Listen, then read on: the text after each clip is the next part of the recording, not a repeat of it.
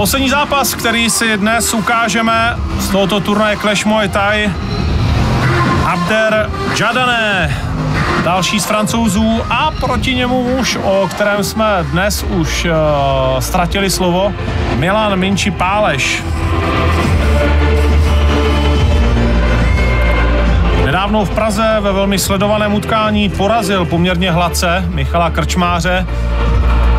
Na okolnosti toho zápasu už se historie neptá, zkrátka to bylo jasné vítězství. A teď Páleš eh, přichází do ringu, aby to vítězství obhájil i na domácí půdě proti Francouzi, který má 21 let, 18 zápasů, 14 vítězství. Stejně tak starý Páleš nazbíral 24 zápasů a má 22 vítězství. Jen dvě porážky. Krásná bilance, nevýdaná. Přesně tak. Další z diamantů ze želinského gymu.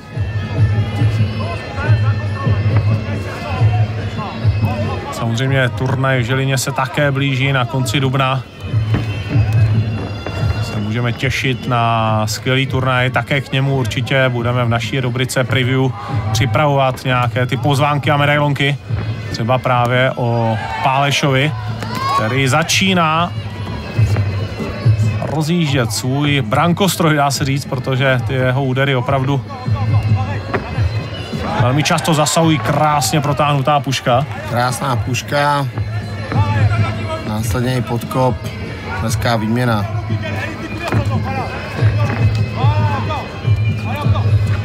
No ale Francouz je hodně nepříjemný. Jednak jsou to tajské pravidla, které tedy Páleš zrovna nemiluje. Není to Thai boxer, je to spíše borec pro pravidla K1. No vlastně celou tu kariéru ho spíše provází K1 a tak zatím i samozřejmě jde. Jak říkáš, ty francouz má nějaký nepříjemný lepevý, lepevý styl. Vlastně něco jiného aplikovat na dobře boxujícího páleše, než prostě mu takhle znepříjemnit život a chuť. Navíc je tam nějakých uh, téměř 10 cm rozdílů ve prospěch uh, Jaraného. A i to hraje roli. Takhle to možná vypadá i víc uh, z pohledu kamery.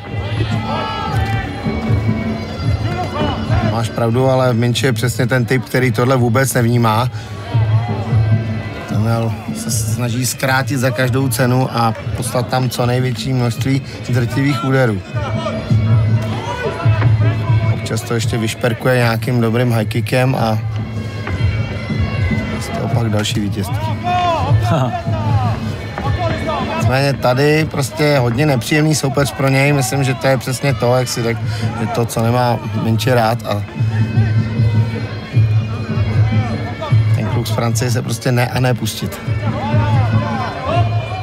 Navíc Páleš, eh, my to víme, nastupuje do tohoto zápasu po nemoci, ne úplně skvěle kondičně připraven, což se borcům samozřejmě často stává, protože jdou v té přípravě na hranici uh, vysílení a tím pádem je oslabená imunita, pak stačí málo. Všichni, kteří do ringu nastupovali, včetně tebe to dobře znají, že uh, je to často velký problém, jednak i hubnutí, ale myslím si, že Minči moc zase nezhazuje do těch zápasů, že těch 1,70 je taková váha, která uh, pro něj není nějak kritická. Nicméně dobře si řekl, že prostě um, profík musí občas vednout rukavici, i když není zrovna optimální formě, anebo samozřejmě zdravot, po zdravotní stránce, ale tak to prostě ve sportu profesionálním škodu. Žádné velké zadýchání v červeném rohu. Ivan Šumichrás tam uděloval pokyny Pálešovi. Round kick je jeden uh, z dobrých úderů, které Páleš má ve svém arzenalu.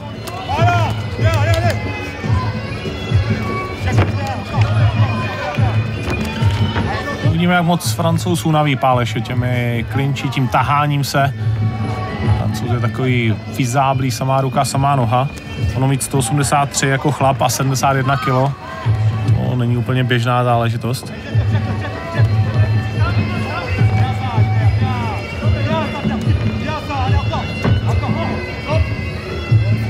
Pamatuju si ve své době, když jsem zápasil s Erikem Koštánkem, ten měl na 77 kg 191, 2 tuším. Mm, mm. Moc příjemný. Jo, jo, jo.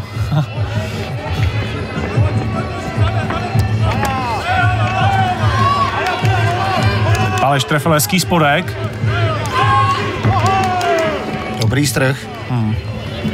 Francouz dobře pracuje nohama v těch klinčích, to je jednoznačně na jeho straně a připomínám, že je to tajský box, takže nohy úplně zjednodušeně můžeme říct si platí za dva oproti rukám.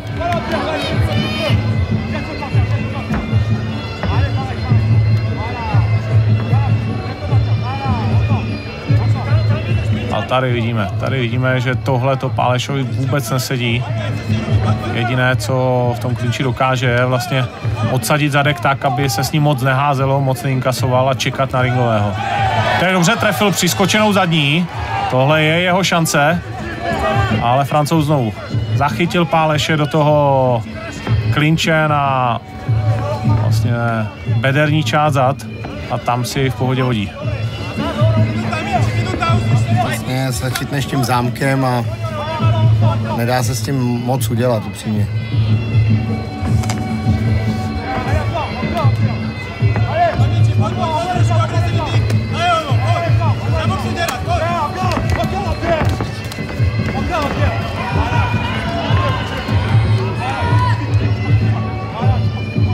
Zase opět francouz odlapil mu ty ruce, svázal. V neposlední řadě je to hodně vysilující.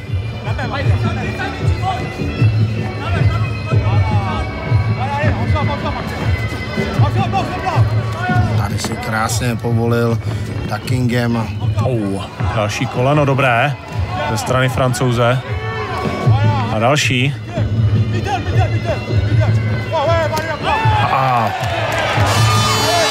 Tohle pro změnu Pálešova notička, kterou velmi rád hraje a zpívá.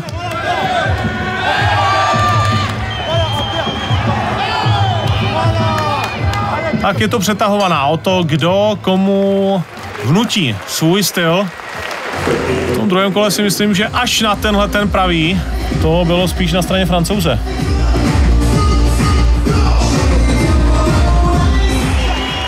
já bych to viděl spíš jako plichtu, ale Spíše zaujali tanečníčky, jsem koukal.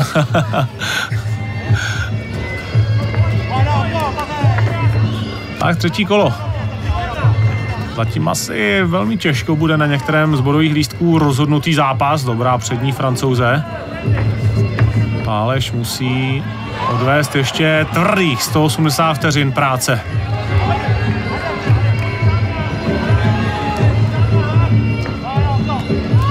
Pěkně povolil Minči a zkusil hned přebrat ten útok.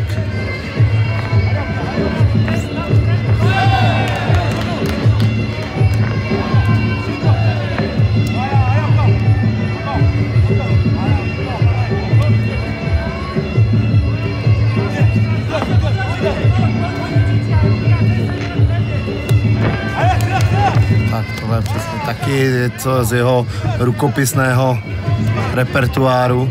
Hmm. To je ten ponořený high kick.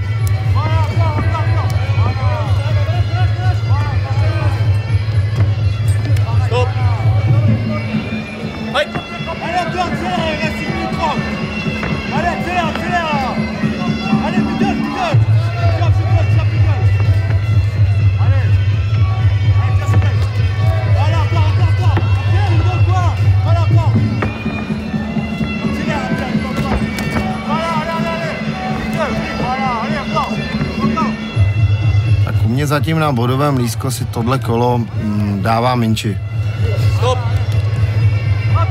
Francouz pro mě nedělá tolik, abych aby jsem si myslel, že tohle kolo jde v jeho prospěch. Ač, jak říkáš, jedeme podle tajských pravidel, tak eh, zatím neudělá nic, nic Ne, přesného. souhlasím s tebou. Nemá, nemá nějakou čistotu zásahu, nějaké velké momenty. Zkouší to svázat a klinčovat, ale ani ty kolena, byť jsou nepříjemné a jsou únavné, tak nemyslím si, že jsou rozhodující pro ten zápas a přeci jenom tajský box se hodnotí komplexně. A není tam viditelná ta destrukce toho No. úderu, což v tom profiringu si myslím, že by měla být znatelná, měla by být vidět. Tady, ač Minči spadnul trefený high kick, i když lehce, a to samozřejmě Hezká puška. body a tady krásná kůžka, která poslala Frantíka na zem.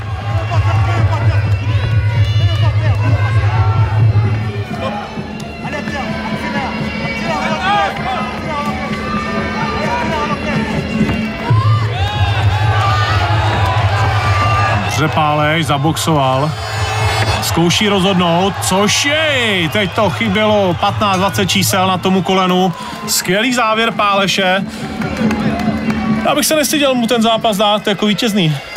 Eh, Teď, když to vidím mm, z pohledu tady v televizi, tak eh, si myslím, že to klidně mohl menší dostat. Tak uvidíme, jak to dopadne. Končí to remízou, nedá se nic dělat. Takhle už to zkrátka viděli bodoví.